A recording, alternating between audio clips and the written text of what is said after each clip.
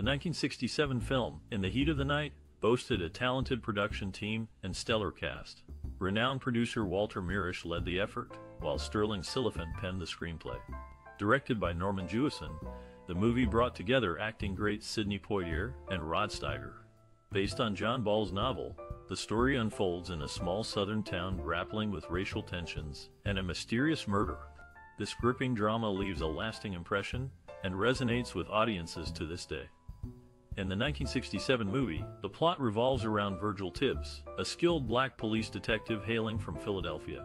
Tibbs finds himself entangled in a murder investigation taking place in a tiny racially charged town located in Mississippi.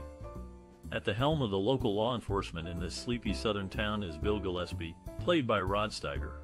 Known for his constant gum chewing throughout the movie, it was actually the director's suggestion for Steiger to adopt this quirk. Initially reluctant, Steiger grew fond of the habit, ultimately consuming a staggering 263 packs of gum while filming. This distinctive trait added an extra layer of nuance to Steiger's complex portrayal of Chief Gillespie. In 1967, the movie industry witnessed a significant shift in lighting innovation, particularly for actors with darker complexions. This change came to light, quite literally, through the efforts of cinematographer Haskell Wexler in the film. Wexler recognized the necessity of employing unique lighting techniques to accentuate the performance of Sidney Poitier, one of the lead actors who had dark skin. Until then, most films were illuminated uniformly, often resulting in overexposure or loss of detail in scenes featuring African American actors. However, Wexler challenged this status quo by meticulously adjusting the lights to bring out the subtle facial expressions and features of Poitier, which until then remained unnoticed or underappreciated. This approach marked a turning point in cinema history, paving the way for more inclusive representation both in front of and behind the camera. By treating all performers equally regarding lighting design, the film demonstrated respect for diversity and equality. Moreover, it underscored the importance of technical expertise in enhancing storytelling, proving that visual aesthetics could significantly impact audience engagement. To achieve these results, Wexler used specific lighting equipment like softboxes, and umbrellas to diffuse harsh light, thereby avoiding unwanted shadows or glare on the actors' faces. He also positioned the key lights strategically to highlight the contours of the face, drawing attention to emotional cues conveyed through facial expressions. These innovations revolutionized how movies depicted people of color, setting new standards for future productions. In conclusion, the 1967 movie stands out as a pioneering force in lighting innovation, breaking barriers and challenging stereotypes associated with lighting in Hollywood. Its influence continues to resonate today, serving as a reminder of the power of inclusivity and technological advancement in shaping compelling narratives. The visual style of the movie sets it apart, featuring a distinctive soap opera-like appearance attributed to its specific lighting and other elements. Notably, Sidney Poitier declined to film in Mississippi because of a harrowing encounter he had there with Harry Belafonte. As a result, the production team chose Sparta, Illinois as the main filming location, with select scenes also captured in Tennessee. During the production of the movie, the crew encountered several challenges while filming in Tennessee. Local thugs posed a significant threat, leading the team to cut their stay short and return to the safety of Illinois. This unexpected change forced the cast and crew to adapt quickly, causing delays and increasing costs. One notable challenge involved creating realistic night scenes during the autumn season. To prevent actors' breath from being visible on camera, they were required to hold ice chips in their mouths between takes.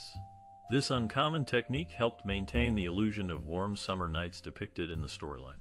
Despite these difficulties, the cast and crew persevered through the unfavorable conditions and completed the movie. In the months leading up to the release of the movie, distributors had concerns about showing it in the southern states due to its racial themes. They feared that it could spark trouble and even violence among audiences. However, these fears proved unfounded, as there were no reports of disturbances at any of the venues where the movie was shown.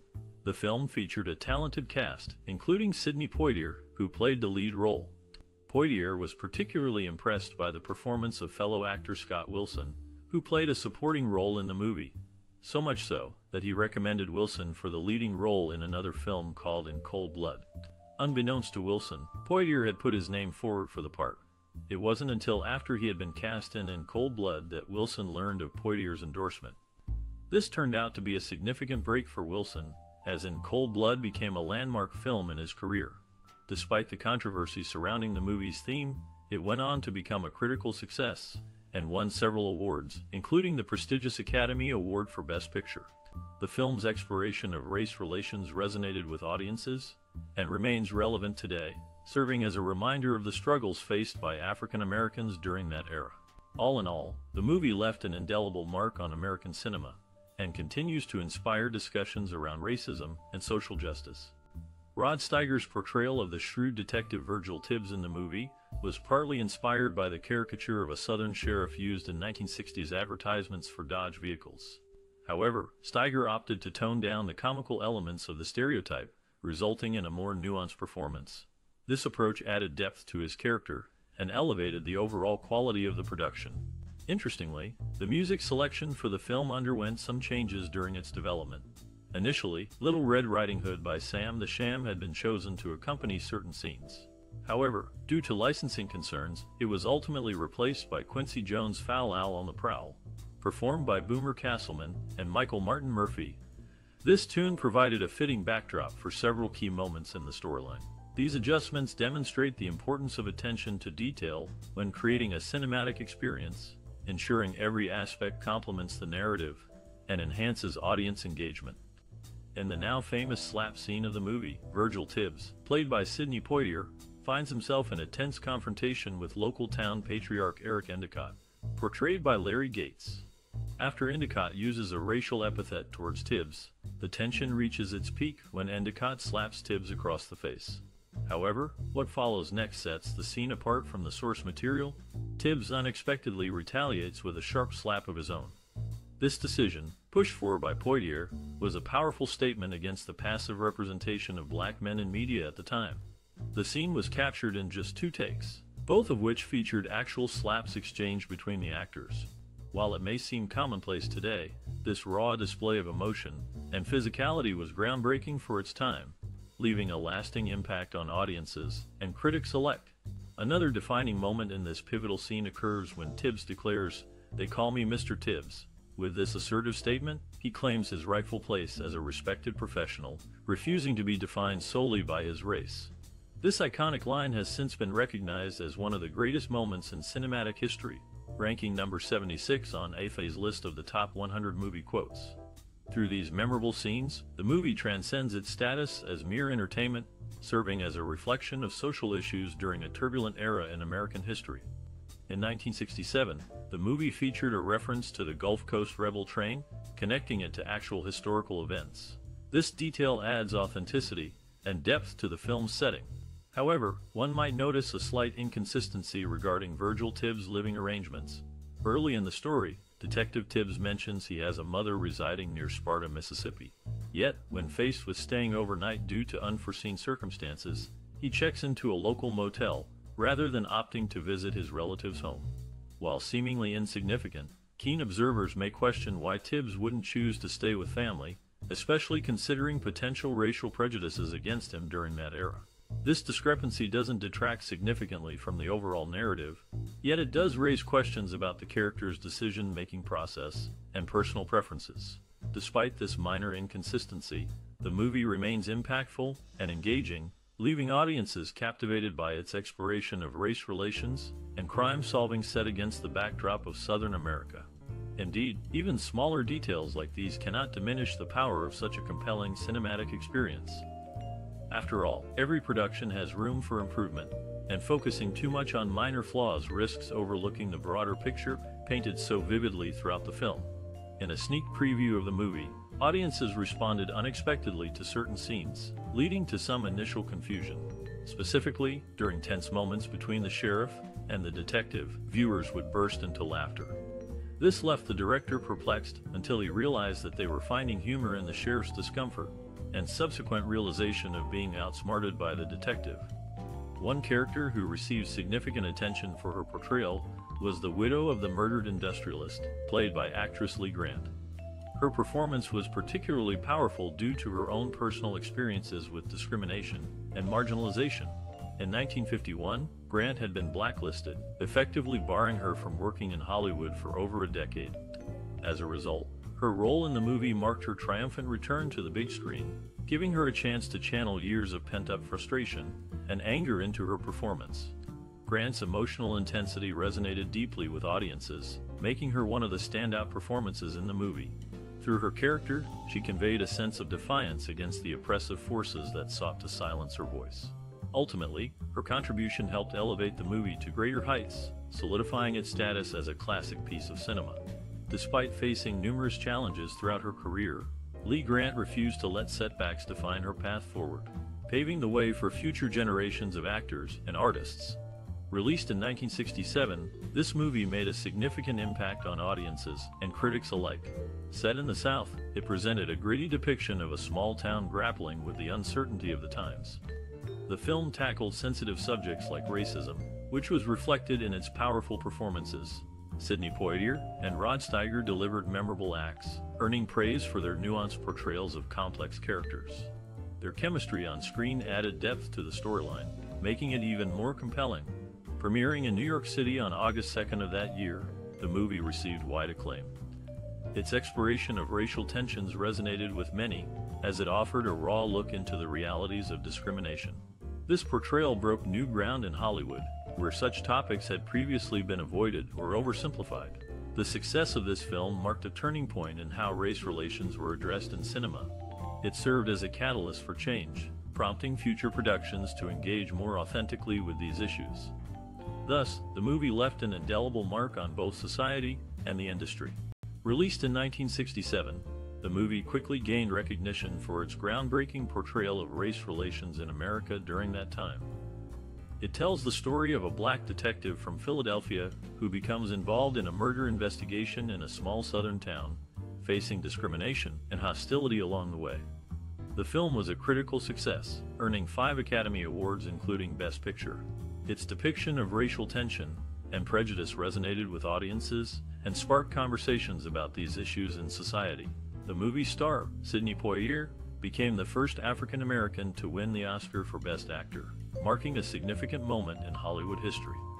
Despite being over 50 years old, the movie remains relevant today due to its powerful message against racism and stereotypes. Its exploration of systemic inequality continues to inspire discussions on social justice, making it a timeless piece of cinema. Additionally, the movie paved the way for more diverse representation in Hollywood, both in front of and behind the camera. Overall, the movie left a lasting impact on the industry and society as a whole. Its themes continue to resonate with viewers, reminding us of the importance of equality, respect, and understanding towards people of all backgrounds. Let's dive into the fascinating cast assembly for the 1967 classic, In the Heat of the Night. The film's lead, Virgil Tibbs, was played by Sidney Poitier. Director Norman Jewison had seen Poitier's work before and knew he was perfect for the role. Poitier's reputation as a serious and powerful actor made him an easy choice. For the part of Police Chief Bill Gillespie, Rod Steiger was selected after a series of screen tests. His ability to portray a complex character, balancing between hostility and respect for Tibbs, won him the role. Lee Grant, who played Mistress Leslie Colbert, went through several auditions before being cast. Her subtle yet impactful performance added depth to the film's exploration of race relations in the South. Quentin Dean, who played Beatrice Bowe Brannigan, was discovered while working as a waitress. A talent scout noticed her and suggested she audition for the role, which she ultimately secured. The casting of the small town's mayor, Mr. Schubert, caused some initial difficulties. Ultimately, Larry Gates was chosen for his ability to convey authority and integrity, fitting perfectly with the character's political standing. Interestingly, many actors were considered for smaller roles, including Warren Oates, William Schaller, and James Patterson, ensuring that every character contributed significantly to the film's narrative. During rehearsals, the cast underwent extensive chemistry tests, refining their on-screen relationships. These exercises helped create the palpable tension between Poitier and Steiger, defining one of the most memorable aspects of the movie. The result was a compelling drama featuring nuanced performances that continue to resonate today. All thanks to a carefully curated cast assembled with precision and foresight. Directed by Norman Jewison, In the Heat of the Night became a classic film capturing social tensions of its time. Jewison was drawn to John Ball's novel due to its exploration of racial prejudice in America. Jewison's documentary background influenced his approach. He aimed for authenticity. He scouted locations in the South to capture the essence of the setting accurately. His decision to shoot in Sparta, Illinois, added grit and realism often absent from Hollywood productions. The director worked closely with cinematographer Haskell Wexler, employing innovative techniques like shooting scenes handheld to create intimacy between viewers and characters. This choice gave audiences a first-hand look into the unfolding drama. Collaboration extended beyond tech teams. Sidney Poitier, starring as Virgil Tibbs, played a significant role in crafting the character. Initially introduced as a minor character, Poitier proposed changes making Tibbs more central and assertive. Recognizing the value of these suggestions, Jewison incorporated them seamlessly into the narrative. Moreover, Rod Steiger, who portrayed Police Chief Bill Gillespie, contributed significantly too. Known for method acting, Steiger developed unique mannerisms for Gillespie, including his distinctive southern drawl. These nuances enriched the character immeasurably, further enhancing the audience's engagement. Musically, Quincy Jones provided a hauntingly beautiful score, underscored by jazz elements reflective of the era. Together, all these components formed a powerful tapestry depicting race relations against a backdrop of simmering tension and conflict resolution through unexpected partnerships. The production of In the Heat of the Night took place primarily in Illinois and Tennessee during 1967. Set designers transformed ordinary locations into the fictional town of Sparta, Mississippi, where most of the story unfolds. They converted a small Illinois city into a southern community by painting buildings with warm colors and adding period-specific details like wooden porches and vintage signs. Filming also occurred in Dyersburg, Tennessee, which posed some logistical challenges due to its remote location. Producers had to arrange accommodations and transportation for cast and crew members relocating temporarily. Additionally, they needed permission from local authorities to close off streets or take over public spaces for shooting scenes. One notable scene required constructing a functional train station on an unused railway line. This involved building a platform, installing lights, and even acquiring a real train, all within a tight schedule. Despite these hurdles, the team managed to complete the task seamlessly, contributing significantly to the movie's authentic feel. As for technological innovations, In the Heat of the Night was one of the first films to employ zoom lenses extensively, Zooming allowed cinematographers greater flexibility when framing shots, reducing the need for time-consuming physical camera movements or lens changes. Consequently, scenes could be captured more efficiently, keeping the shoot on schedule while maintaining artistic control. The creation of the musical score for In the Heat of the Night was a collaboration between legendary composer Quincy Jones and tenor saxophonist Benny Carter. Both had extensive experience in jazz and pop music which they brought to the film's dramatic setting in the racially charged South. Jones, known for his work on shows like I Spy, aimed to craft a score that mirrored the story's tension and emotion. He turned to Carter, who provided key contributions through his evocative sax solos. These haunting melodies underscored critical scenes, amplifying the characters' feelings and propelling the narrative forward. Carter's improvisation during recording sessions proved crucial, his adaptability allowed him to create themes fitting various moods, suspicion, fear, or resolution. For instance, the main theme starts with slow, tense notes, but quickens its pace towards the end, reflecting the protagonist's growing confidence amidst adversity. Interestingly, neither Jones nor Carter watched the movie while scoring it due to tight post-production schedules.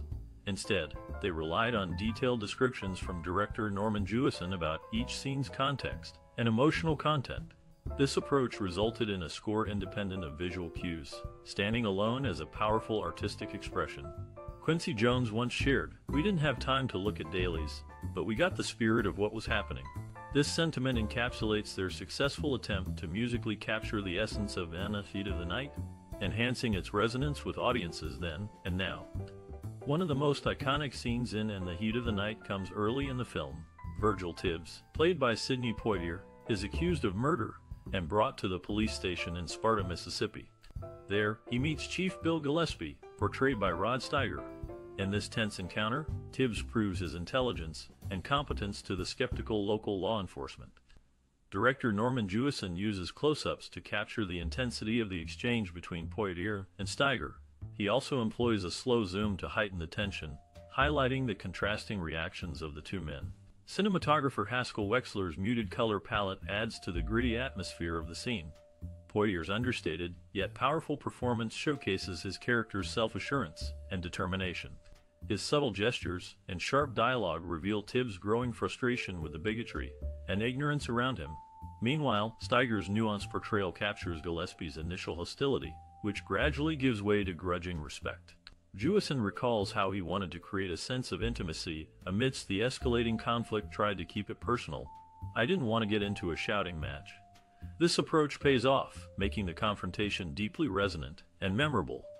Another unforgettable moment occurs when Tibbs slaps Mr. Endicott, a wealthy plantation owner, after being insulted during an investigation.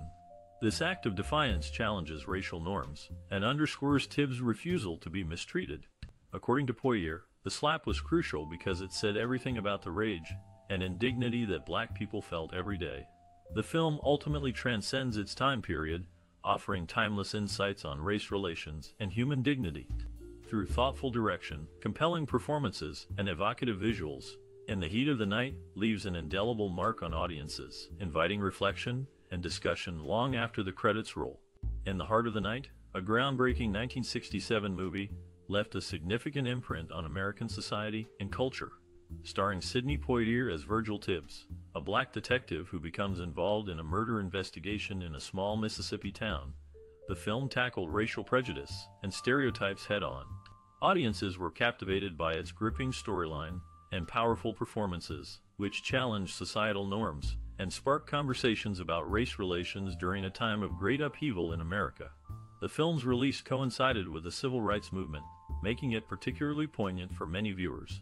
Its exploration of racial tensions and discrimination struck a chord with audiences, prompting them to question their own biases and consider the experiences of those different from themselves. Moreover, In the Heat of the Night shattered preconceived notions about black masculinity and intellectualism, offering a fresh perspective on African American representation in Hollywood. As a result, the movie had a profound influence on popular culture. Characters like Virgil Tibbs became symbols of resistance against systemic racism, inspiring future generations of activists and artists alike. Additionally, the iconic line They Call Me Mr. Tibbs echoed through living rooms across the country, becoming a rallying cry for those seeking justice and equality. Furthermore, In the Heat of the Night served as a catalyst for broader discussions surrounding social and cultural issues. By presenting a nuanced portrayal of race relations, the film encouraged Americans to engage in honest dialogue about the realities of prejudice and inequality. This discourse ultimately paved the way for greater understanding and progress towards social justice. In conclusion, In the Heat of the Night proved instrumental in challenging racial narratives and fostering critical dialogues around social equity. Decades later, its impact continues to reverberate throughout our collective consciousness, serving as both a reflection of past struggles and a reminder of the ongoing fight for true equality. In the Heat of the Night, released in 1967, was met with wide acclaim from both critics and audiences. Noted critic Bosley Crowther of the New York Times praised the film, stating it was carried off with superb professionalism by its cast.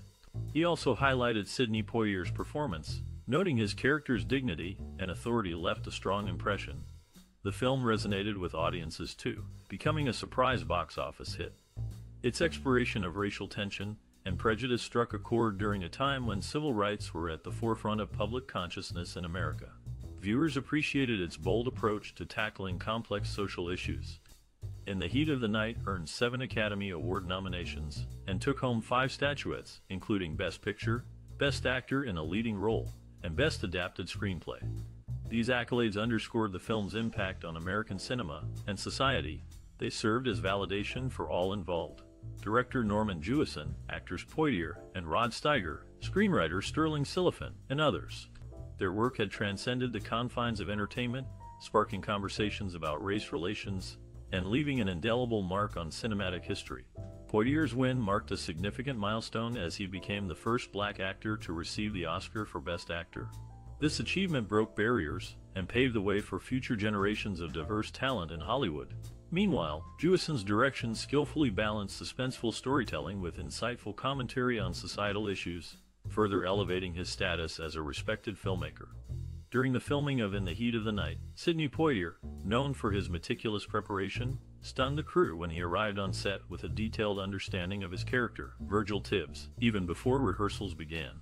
This impressed both director Norman Jewison and co-star Rod Steiger. The chemistry between Poitier and Steiger was initially tense due to their contrasting acting styles, Poitier being more restrained while Steiger was demonstrative. However, they eventually found common ground and delivered powerful performances, earning them both Academy Award nominations. Lee Grant, who played Mistress Leslie Colbert, had been blacklisted in Hollywood during the Red Scare era. Her role in In the Heat of the Night marked her comeback, making it a significant milestone in her career. Quincy Jones, then a young composer, created the film's iconic jazz score under difficult circumstances. He was tasked with replacing Ray Charles just days before shooting started, but managed to deliver a memorable soundtrack despite the time constraint. One unforgettable moment occurred off-set, when Poitier saved a drowning child during location scouting near Sparta, Mississippi. His quick action solidified his status as a hero both on and off-screen. Despite facing challenges like harsh weather conditions and racial tensions prevalent in the South, the cast and crew persevered, resulting in a critically acclaimed masterpiece that transcended its time. In the Heart of the Night, released in 1967, holds a significant position in film history. This groundbreaking movie brought forth a bold depiction of race relations during a time when such conversations were rarely seen on screen. Its director, Norman Jewison, dared to challenge societal norms, giving audiences a captivating murder mystery set amidst racial tension. The film's protagonist, Virgil Tibbs, played by Sidney Poitier, was a black detective visiting a small southern town a stark contrast to the common stereotypes portrayed in Hollywood films up until then. Through this character, the movie showcased African American intelligence, strength, and dignity, while also addressing deep-seated prejudices present in America during that era. One scene that resonates even today is where Mr. Tibbs confidently asserts his worth by slapping a white man who had earlier disrespected him. This act challenged cinematic conventions and left a lasting impression on viewers in terms of its influence on future filmmaking, In the Heat of the Night paved the way for more diverse representation both behind and in front of the camera. Filmmakers began tackling complex social issues head-on, often drawing inspiration from this seminal work. Countless movies and TV shows since have explored themes of racism, discrimination, and justice, reflecting the ripple effect caused by this powerful film. Subsequent projects inspired by In the Heat of the Night include numerous crime dramas featuring strong leads of color, like Denzel Washington in Training Day or Viola Davis in How to Get Away with Murder. Even outside the realms of crime drama, we see traces of Tibbs' indomitable spirit echoed in contemporary heroes challenging systemic injustice. Moreover, the Academy Award-winning score by Quincy Jones added emotional depth to the narrative, highlighting how music can significantly contribute to storytelling. Composers continue to build upon these foundational elements when crafting soundtracks today. To sum up, In the Heat of the Night remains an essential piece of cinema that has shaped our cultural consciousness around race, power dynamics, and criminal investigation. By pushing boundaries and sparking necessary discussions about inequality, this influential masterpiece continues to inspire new generations of artists and audience members alike. Did you know that the 1967 classic In the Heat of the Night left a significant mark on many people's lives? We'd love to hear about your personal connections to this groundbreaking film. How has this powerful story affected you? Perhaps it shifted your viewpoint on race relations, or made you appreciate the art of acting even more. Maybe it brought back memories of watching movies in a different era. Whatever your experience, we're eager to learn about its influence on you. If you enjoyed reminiscing, don't forget to like, share, and subscribe for future trips down memory lane. Let's keep the conversation going. Tell us your story.